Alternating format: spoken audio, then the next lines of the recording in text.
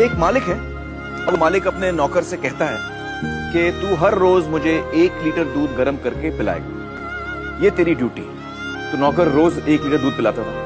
कुछ दिन बाद नौकर जो है, उस दूध में से पाव लीटर दूध खुद पी जाता था। और बाकी दूध में पानी मिला के मालिक को पिलाता था। फिर कोई मालिक से शिकायत करता है कि साहब, ये जो नौकर आपने रखा है, ये दूध में गड़बड़ करता है। तो मालिक ने कहा अच्छा ऐसा है क्या?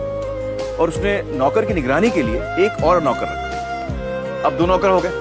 तो दोनों नौकरों ने पाव पाव लीटर दूध खुद पीना शुरू किया और बाकी दूध में वो पानी मिला के मालिक को पिलाते। कुछ दिन बाद फिर मालिक को कुछ लोगों ने कहा कि आपके ये दो नौकर जो है वो दूध में पानी मिला के पिला रहे हैं हम। तो उसने कहा अच्छा ऐसा है? तो उसने एक और नौकर रखा। बोला, इन दोनों पे निगरानी रखो।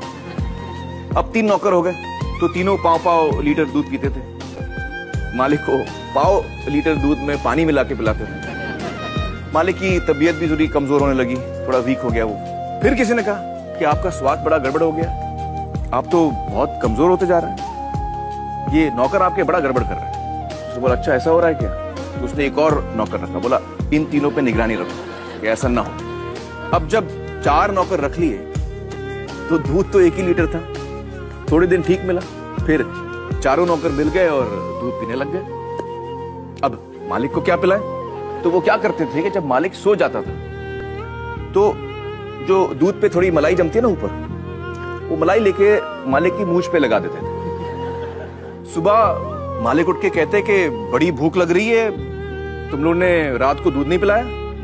तो कहते, नहीं नहीं, मालिक, पिलाया। आपका हाजमा खराब है, आपकी तबीयत ठीक नहीं है। वो कहता, क्यों, कैसे?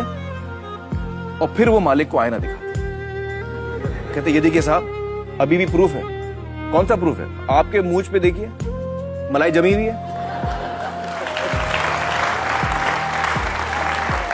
तो अब मुझे बताइए दोस्तों कि ये कहानी है या हकीकत? हकीकत है। तो इसमें मालिक कौन है और नौकर कौन है? हाँ आप बताइए। इसमें मालिक जो है जनता है और नौकर जो है वो सरकार है। हाँ हाँ बिल्कुल सही पहचाना आपने। आप लोगों ने भी ये बात पहचान ली थी।